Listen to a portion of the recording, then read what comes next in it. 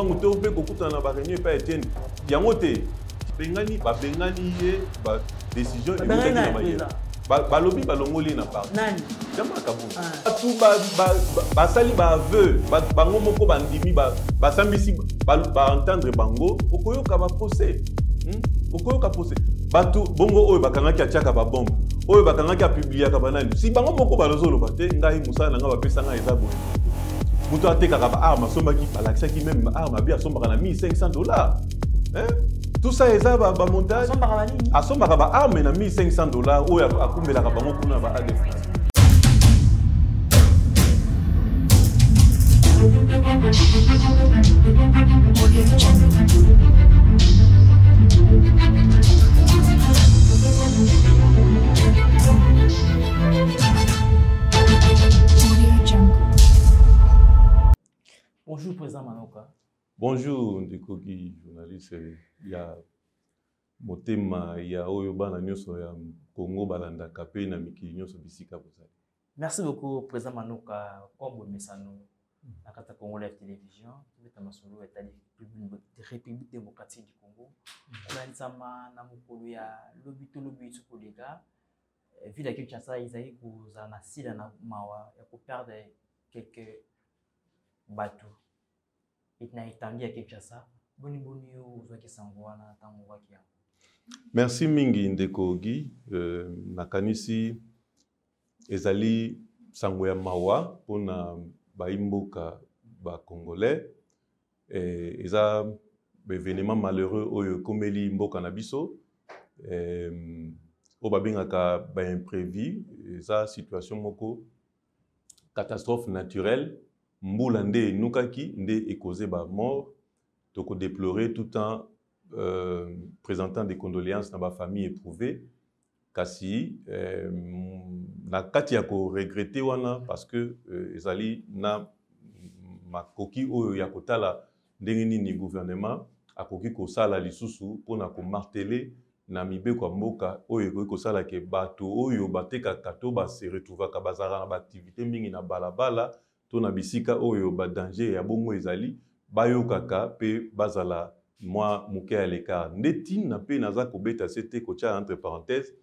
Tina ya moko ya misala oyo toyekolaki, to lance structure moko ya ONG ya Volontaires Congolais pour la Justice et le Developpement. Tina na biso ezali nde ya ko sensibilisaka bato bazongisaka ba, ba, ba na mitu na bango mbala na mbala ya kozalaka kozongisaka mibeko ya mboka na mutu donc makambo oyo esalemeli biso ekokaki kozala evite soki bato nyonso bazalaki informe to bazala sensibilise seke leta aza mpe na pa ya responsabilité na ye na kati ya liwa ya ba bayi mboka oyo basi kokufa na mokolo ya tout à fait nazoloba na sens général soki likama ekwei leta aza vise mpo leta asalaka nyonso mpo abungisa ata moko te mais Soki Nzambe a decider autrement nde omoni mbula ebetaki ekweyisi ebeti kake kake ekweyisi singa singa ezui na mayi mayi bato bakufi or bato bakufi eza bato batekaka tongo nyonso to mikolo na mikolo esika oyo l'etat aloba ke awa bokoki kozala te siko ntango leta aloba bongo nde place nazo baresponsabilité nde place nazo baresponsabilité déjà chef de leta asi apesaki orientation Ministre pas plus tard que soki 4 jours awa ministre ya urbanisme apesaki orientation malheureusement mbula eye kokweya ntango déjà processus wana ezali mais nazoloba ke l'etat soki mibeko epesemi boye la police ezali mpo endimisa esalake bato batosa mibeko mpo bato bazalaka te na, na bisika oyo bapekisi kotekaka to bisika oyo bato ba, euh, ba, leta apekisi te bato bazala donc na se ya scable wana il faut bato bayebaka ke courant eza eloko basakanaka yango te eh, eh, ba, ba, biloko mosusu oyo ekoki kosalaka ke epekisa neti accident par exemple pas plus tard que soki eh, bamwa nini elekaki awa motuka ewuti kuna na nzela ya, ya congo central ezoya kokita ezwi problème ya frein ekei kokutana na kati ya bato oyo bazwa koteka wana donc toujours terrain wana ezalaka soit accident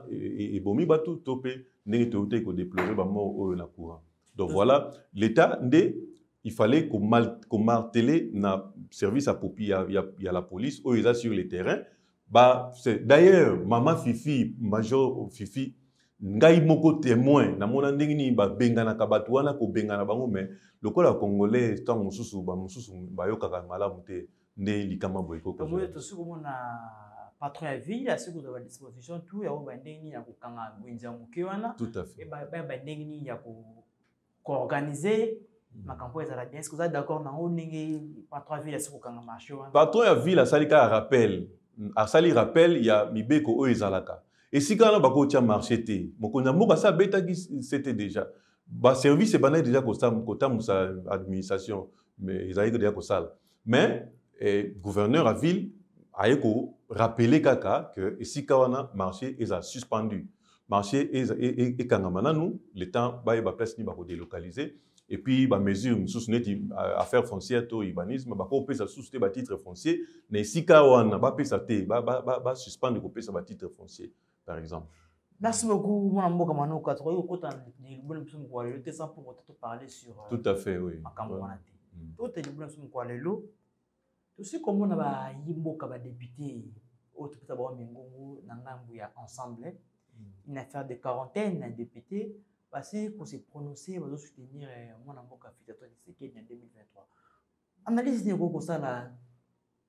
onde ya badepute na komona mpe mosi katumbi mpe na ngambo kuna azo prétendre kozala candidat président ya 2023 je sais pas euh, felix sekedi akomi kodrible euh, ndeko merci mingi na motuna na yo vraiment pertinente badepute oyo ya ensemble baza kose prononce banani Est ce que population atindaki bango na assemblee nationale mpo ba se prononcaka pour ou contre Felix alobi azali president ya bayi mboka nyonso ba congolais c'est-à-dire soki ozo soutenir chef de l'etat ba, ba, yo ozali na ngambu lokola yo oza ndeko journaliste na ngambu na yo journaliste ozo aider chef de l'etat na makambo oyo yo ozosala ngai mpe naede na makambo oyo ngai nazosala badepute so balingi baede mokonzi ya mboka so balobi ke balingi mokonzi ya mboka baede ye nde na kati ya parlement na mibeko kuna mpo bayi mboka bacongolais peuple congolais a se retrouver souci ya chef de l'etat ezali eh, peuple congolais a se retrouver mais soki lelo ntongo etani badéclaration te biso tozali pour félix biso tozali pour katumbi biso tozali pour c'est-à-dire que soutenir le chef de l'état c'est produire des lois au niveau de l'assemblée nationale nde yango population atindaka bango kuna batindaki bango te mpo matin midi soir bamultipliaka ba badéclaration ba ya pour contre président katumbi nana se prononça mpe te nano ayoki te kalobi kaza candidatnayoki nanu te kalobi kakozalasoki eza mpo na motu nyonso ata yo to ngai nakoki kozala mpe candidat nayoki mpe daniel safu mpe alobi mpe ete akoki kozala mpe candidat présidentiel alobi mpe akoki kozala eza maloba liberté d'opinion oyo faci ayeli yango yango wana moto nyonso akoki koloba te te euh, oyebi oyebi rosi mukendi aza te lelo mpo na liberté oyebi ke shebeya baza te mpo na liberté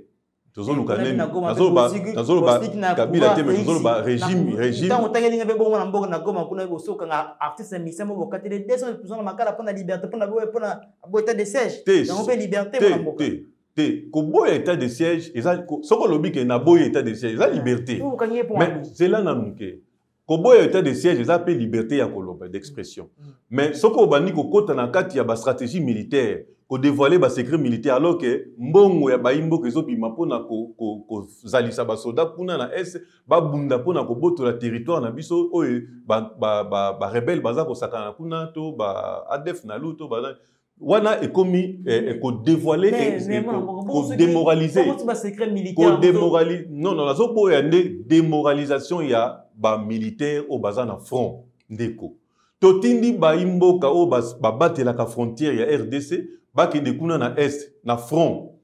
sikoyo moto moko congolais moko ademoralizaka bango na front imagine ekoki kozala ndenge nini alors ke misolo ya mboka bavie ba nationale mosusu eza suspende nanu mpo na tosisa nano bitumba ya est soki moto aboyi état de siège mpo eh, tozonga na vie ya bagouverneur ya kala tozonga na vie ya kala Nani awuti komona te il ya trois jours awa bakangi ba mama oyo bazali na kati ya, ya secret wana ya, ya badef nalu nani amoni te bakongolais oyo bato ya beni na babutembo bakangi bato oyo bana basi bamama batekaka baarme mosusu asombaka bakisi akendaka koravitaye ba adf nalu na bakisi ce sont des congolais Hmm? soki yo oboyi yango bongo sikoyo baoyo bazo avouevideo monte te oh, oh, oh, comment ça bato basali baaveu bango moko bandimi basambisi baentendre bango okoyoka baprocès hmm? okoyoka procès bato bongo oyo bakangaki atiaka babombe oyo bakangaki apubliaka banani si bango moko bazoloba te ngai mosala na ngai bapesa ngai eza boye boye boye moto atekaka baarme asombaki balakisaki meme baarme abi asombaka na 1500 dollars hein? tout ça eza bamontage ba asombaka baarme na 1500 dollars oyo akumbelaka bango kuna na baadf na mm. okomona ke bato oyo bazobundisa biso oyo bazoya koboma na bamachete na, ba, ba, na, ba, na minduki basombaka yango kaka epai ya basoda na biso awa bake kopesa yango kuna elekaka ndenge nini epai ya bamama na babassin yo ozotika mama azokende oteka okanisa ake bilanga to ake nani nzoka nde akumbi biloko wana akenaboso bana boso bana mboka bazo kodeplore caractère wana balobi wana banzembo na bango mais nani ayebi nani ayebi soki bango mpe baza na kati ya, ya circuit mpo balobi bacongolais nde baza na kati omonaki bakangaki pasteur omoni bakangaki chef coutumier eh, chef coutumier mais aza adef sikoyo okoyeba ndenge nini okoyeba ndenge nini ndeko meme bato bazoyemba nzembo wana nani ayebi soki motema na ye ye mpe aza parmi ba adf mpo sikoyo eyebani te tokomi kokamwa ke oh, oyo aza intel azalaka awa bayebi ke oyo ya intel bakangi bango la fois passé bakangaki moto oyo azalaka na kati ya mboka bayebi asalaka mpe bamouvement ya baaction eh, civile basociété civile mais ntango bakangi baotage kuna baotage wana bake komona yesusu kuna na bango aliaka na bango azalaka na bango nzambe merci bafardc balibere bango baye baye kopesa sango ya moto oyo tozalaka na ye kuna epa bato wana oyo bakangaka biso baliaka na bango kutu ozomona donc secret ezali bana mboka nde baza na kati ya rouage ya, ya secret ya makambo ya, ya, ya... makasi ya makasi ka, kaka lelo, eh, lelo na ntongo bauti koboma ko, ko, ko, ko 33 milice ya barebele ba, ba burundais bamekaki ba kosala incursion na mboka mabele na biso na vigilance ya fardc babomi bango mpe bamaîtrise situation babomi ba, ba, ba, ba, ba, ba rebelle burundais na kati ya mabele na biso okay. omoni donc musala soki soki bazalaki makasi te mbele bakoki kokoka misala makasi bongo te fardc bravo bazosala mosala makasi oyo endimisami e, e, e, na vraiment komaîtrise ko, ko, ko, ko ba différents groupes rebelles oyo baza na kati ya est en tout cas il faut kobetela bango maboko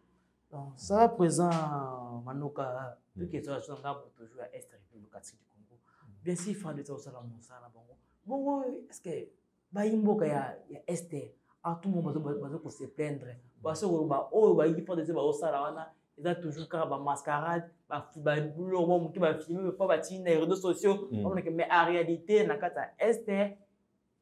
donc debadade eza makasi mwana mboka nalobi ntango wana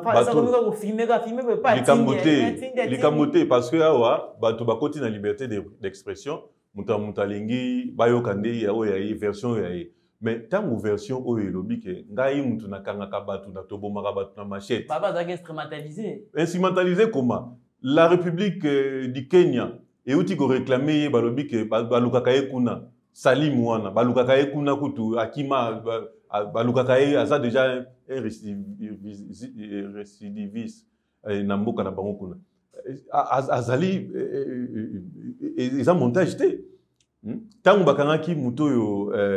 Eh, oyo atekaka asombaka baarme asombelaka bango bakisi ayaka kosomba pharmacie asombi bakisi to abomi bato abomi bato na pharmacie azwi bakisi ake nango kuna wana mpe ezalaki montage motu ye moko alobi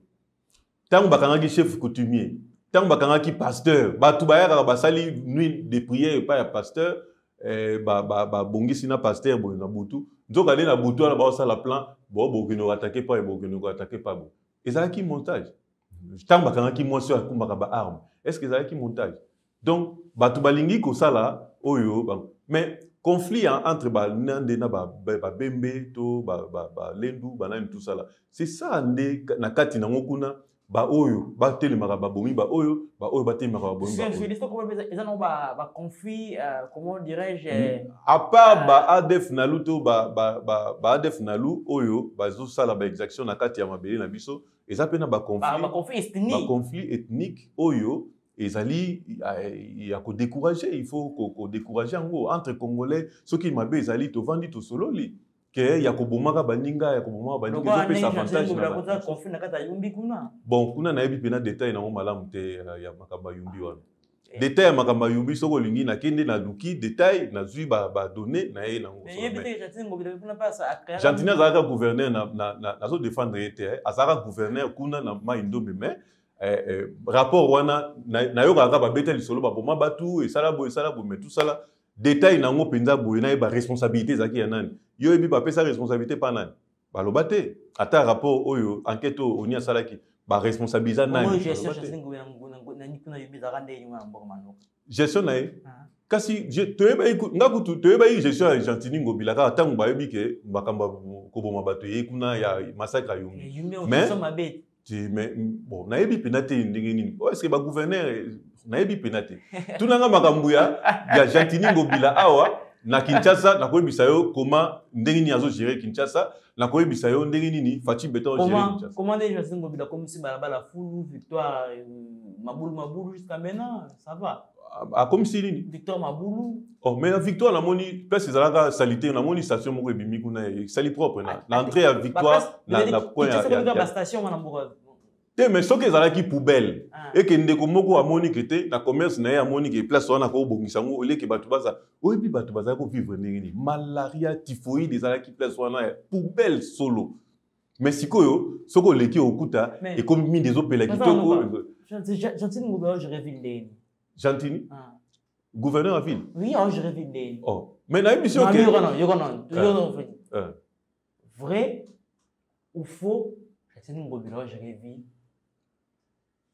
Vrai ou faux, gérer ville bien.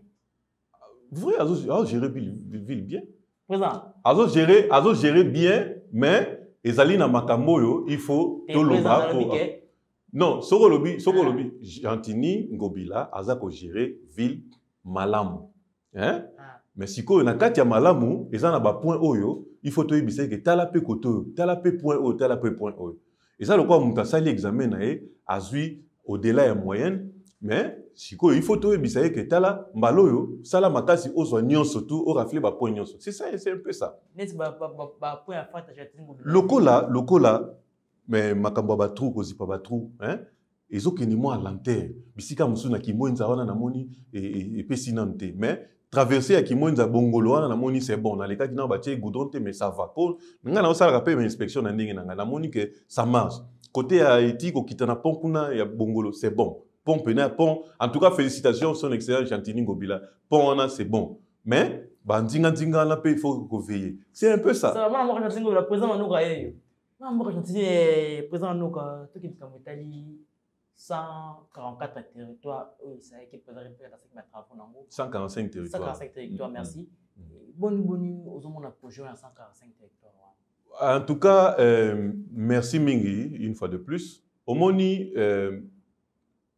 projet ya 145 ya, ya modernisation ya 145 territoire oyo mokonzi ya mboka atie na place ezali mpo na kobooste développement ya république démocratique du congo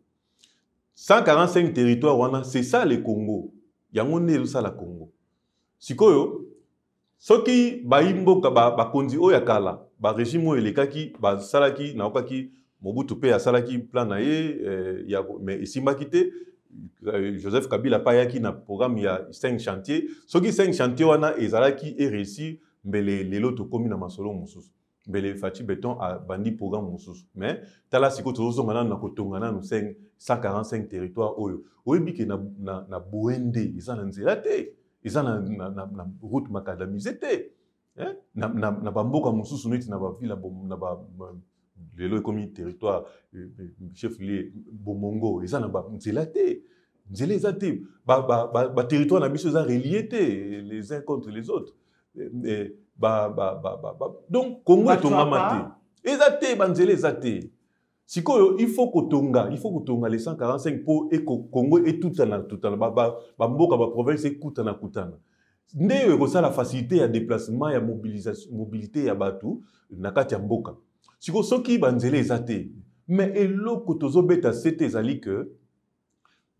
baveye makasi mokonzi na mboka aveye makasi na baservice oyo akotya wana mpo esala te bamakelele to suka susu ono bakende bato moko boye bazala bazwa occasion bazwa ata occasion te ya kodetourne mbongo mpo ekóma na lisusu na baprojet ya 145 territoire moni ekosala e, e, e, bien te donc déjà na ebandeli boye il faut baveye à ce que mbongo ndenge ezobima igf déjà azala na pointe hein s'il vous plaît pas bana kanga moto te IGF ah? IGF asali musala makasi ya nini IGF asali musala munene oyo eh, il faut ko féliciter bana mboka nyonso faut babetele maboko IGF ya lengeti depuis 30 ans IGF ezali depuis 30 ans IGF ezali ya lingeti Gilles Alingeti ekangi nani na moyibi nini oyo ekangi jila lingeti igf ekangaka badenonsaka apesi na justice apesi na justice justice ah. akangi bazongisi mbongo na leta yo oyoki te ke bg fibank e, e, ezongisi e, endimi 43 millions de dollars oyo bazwaki na banque centrale oyo esalaki soki société ya esombaka mbisi awa etekaka bakongole mbisi egal bandimi kozongisa mbongo wana pardon banyama molobi bgfi bank ah. akomelaki igf ke asunga bango bapesa bango échéance mpo bazongisaka mbongo 43 millions de dollars oyo badenonsaki ya na congo eh, oyo igf adenonsaki awa omoni te ke eza ifo kobetela bango maboko ntango dg ya, ya rao bank azongisi 36 millions de dollars na, banque, na, na, na kese ya leta est ce que bokobetela igf maboko te na dossier ya 100 jours mm. ntango bakangi bambongo ba, ba oyo na procès ya 100 jours bazongisi zongisi bambongo bobeteli igf maboko te hmm? bon c'est vrai justice aza na porte parole te mpo moyen bayebisaka bino te tozongisi boye tozongisi boye justice aza na porte parole te peut-être igf nde baza na porte parole bakoki mwa koyebisaka tala tokomi motana tosali boye justice akominikaka te nyonso to eza kuna soki olingi oyeba kende koverifie na compte ya justice bokomona ndenge nini justice akoti mbongo na 2020, 2020 na 2021 surtout na 2021 hmm? donc igf aosala mosala kitoko yango nalobi ke déjà na ebandeli ya projet ya 145 euh, euh, territoire babanda déjà igf azala déjà miso efungwami atalaka mbongo ezobima ndenge nini ezokende epai nani ezokende epai nini eleka epai ndenge nini basombi wapi eleki nini tout ça po biso nyonso to veiller et déjà nazo attirer attention ya ba congolais nyonso mokonzi ya mboka déjà alobaki ke botalaka ndenge nini gestion ezozalaka c'est comme ça que biso nyonso tokokota na kati ya gestion totalaka e hey, ezosimba te tobeleli deja soki tomoni ezosimba te tobeleli deja mpo oyo premier ministre apesi société oyo ya nzela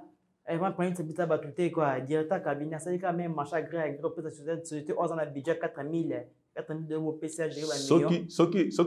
soki eza etosi mobeko te bakolandela ye na justice anga te chef de l'état azalaki ekenge abi te mboka il faut igf pas azala mpo aveyaka na makambo ya boye il faut azala wana oyebi soki na kala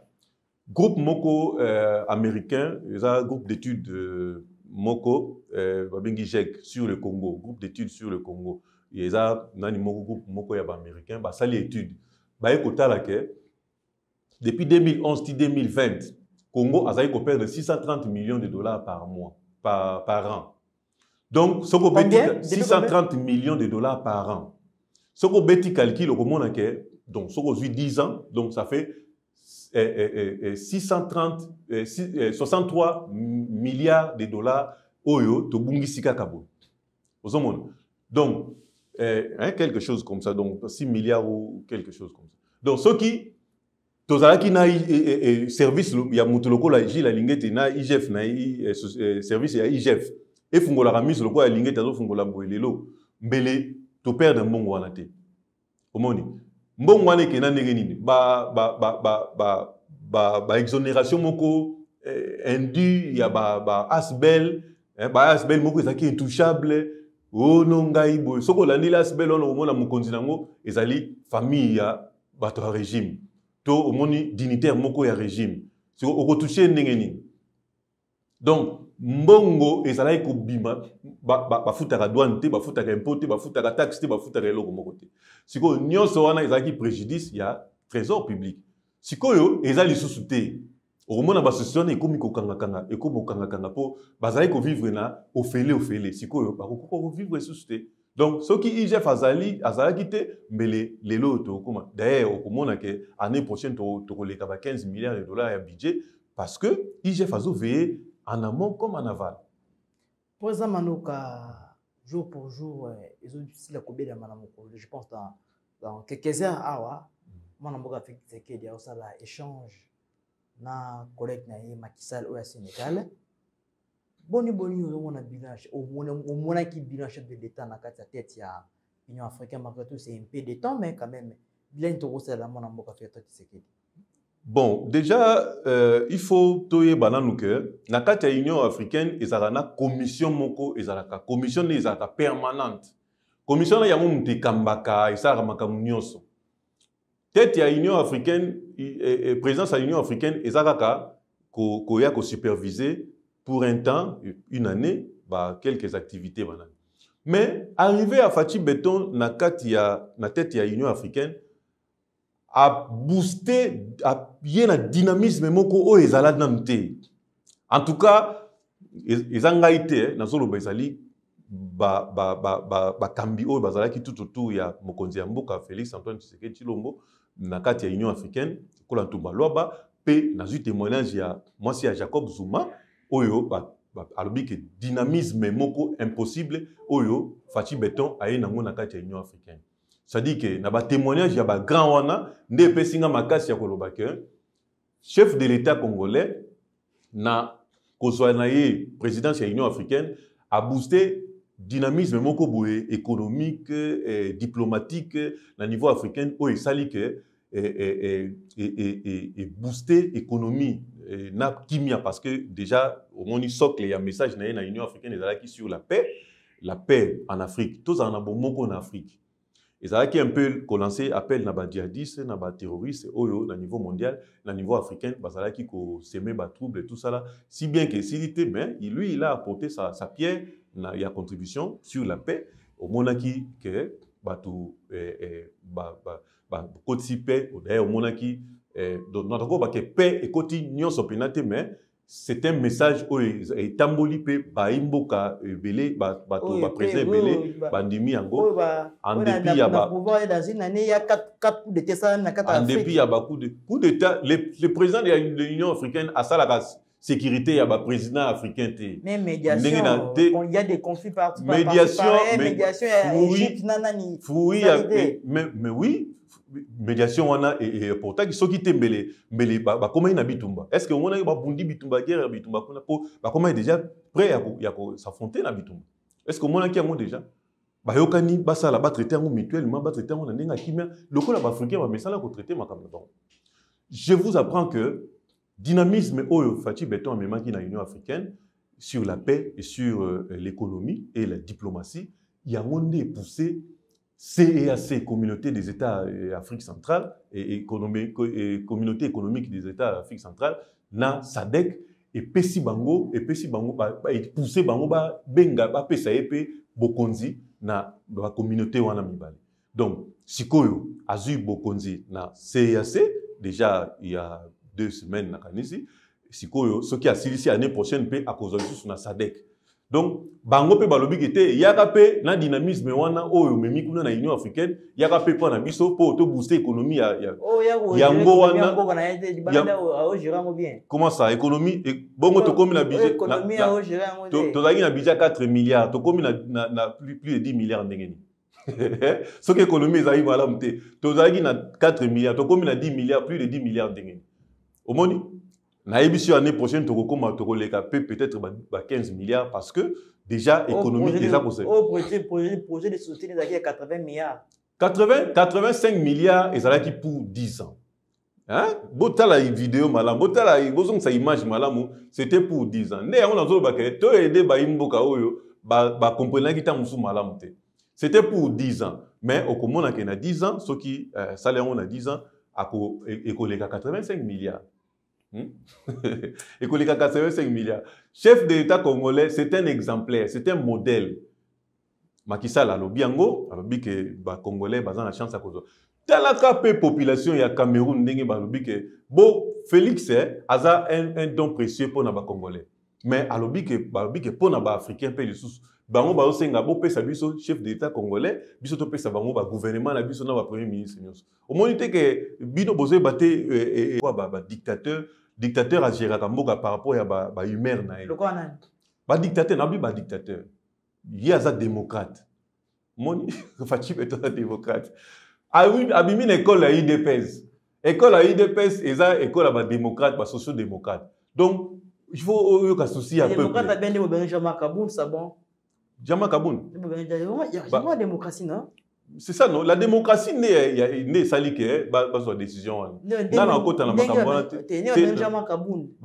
tebengani babengani ye décision eutaki na mayele balobi balongoli ye na parti jean marc abund ah. balongoli kasi yo olotuni jean marc abund ah, balongoli te o oh, président jean marc abund Jean Makabund kaka, honorable Jean Makabund. Honorable Jean Makabund, mais ata azalaki président, ex-président, babengaki président non. Mais nazotikala kopesa ye ba respect ti lelo. Hein? Il mérite mes respects ti lelo, c'est un modèle, c'est un homme droit, nayebi ba capacité na ye. Merci d'ailleurs virage na biso président Noka, il y a déjà 5 ans déjà anniversaire ya Kondo Tshisekedi. Mm. Depuis disparition na ye na kati ya mabele ya ba ancêtres. euh, tosali komona ceremoni esili koleka na kati ya mozole na ye mm. mais ya barimere moko esikalaki entre groupe moko boye est ce que kozala d'accord ke basi bapesa eloko moko ya nkombo ya tian tisekeli na kati ya kongo awa baye mboka balandisami koloba bapesa aéroport nkombo ya tian tisekeli est ce que tu es d'accord avec ça Bon, eza opinion, eza opinion, liberté d'opinion eza garantie na constitution na biso. Soki mutu moko a émettre opinion alobi ke ba pesa ba, de, ba débaptiser eh, eh, eh, balabala moko to eloko moko to pas du peuple to ba bato oyo rebaptiser yango Tshisekedi. kombo mosusu. to pas du peuple eza opinion ya mutu mais soki ekei na ba- bato bakambaka oyo bazwaka ba, ba, bazwaka mibeko ya mboka badepute so balobi ke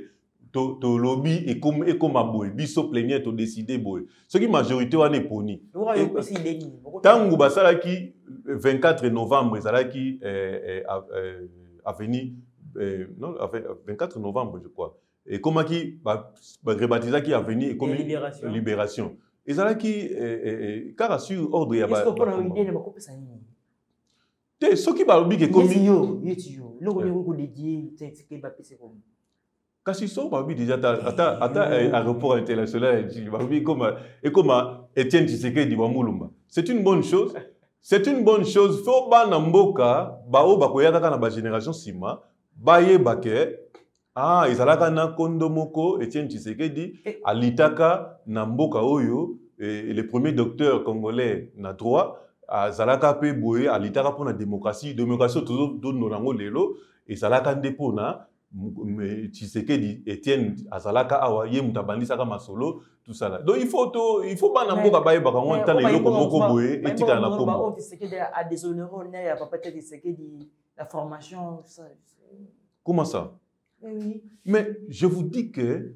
noir sur blanc, ce que Tshisekedi Félix fait aujourd'hui, c'est ce que Étienne Ferré azali kosala ntango oyo tshisekedi etienne alengelaka yango tshisekedi azosala ye makambo oyo président actuel azosala ezali programme ezali vision ya kondo etienne tshisekedi exactement état de droit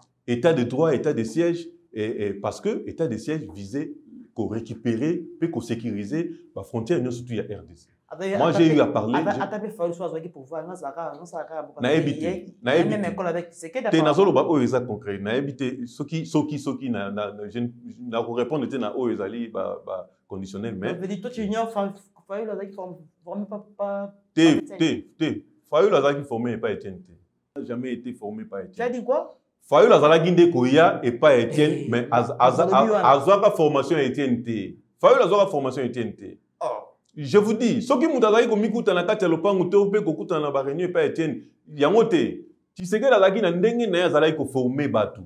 komitungisa te tuna bamubake tuna banani soki olobi soki otangeli ngai bamubake le consort nakoki kopesa mwa e, e, eyano mais na fayulu fayulu azwaka formation ya etienne tisekedi te hmm. batisekedise bango wana ezali bacg ya munganga bacg kabuya eh, baza ebele wana eh, lokola mpe jean makabuni mpe azalaki c'est un tisekediste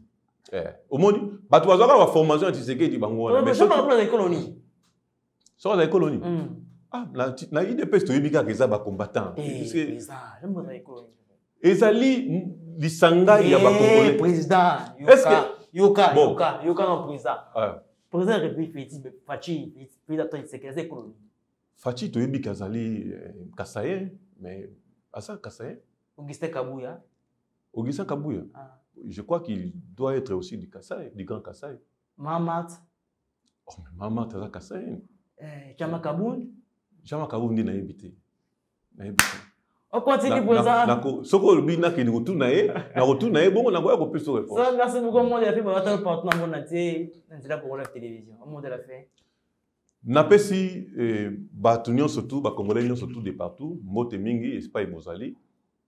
eh, mingi mingi kuna na chateau rouge to mpe epai ya mama roseline na suisse napesi bango mbote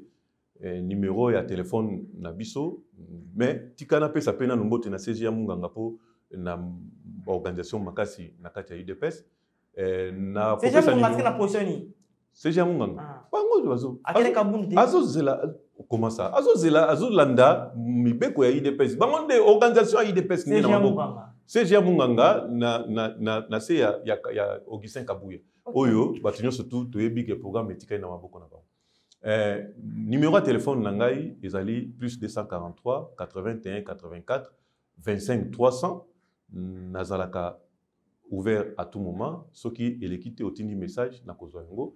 mbote mingi na bato nyonso nasengi soutien makasi na faci beton oyo azosala ndenge kaka toyokanaki merci beaucoup okay, merci beaucoup président manuka merci.